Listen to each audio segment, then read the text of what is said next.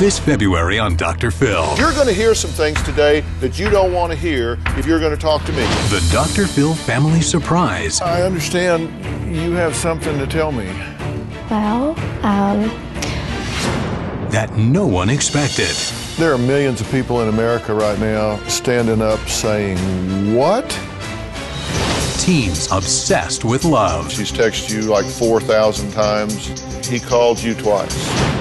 Your personal life with Dusty is affecting our entire household right now. You look down on him like you're better. You're not any better than him. I'm done.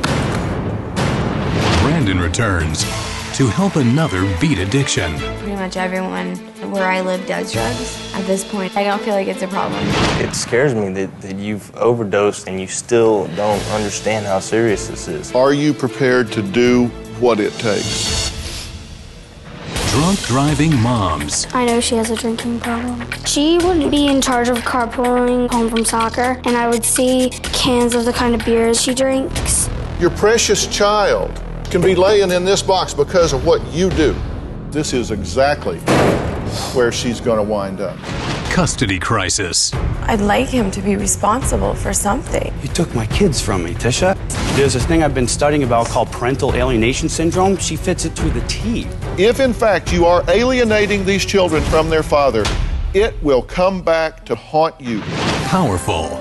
Look yourself in the eye. What do you see? Someone who just made a mistake and has a really big problem.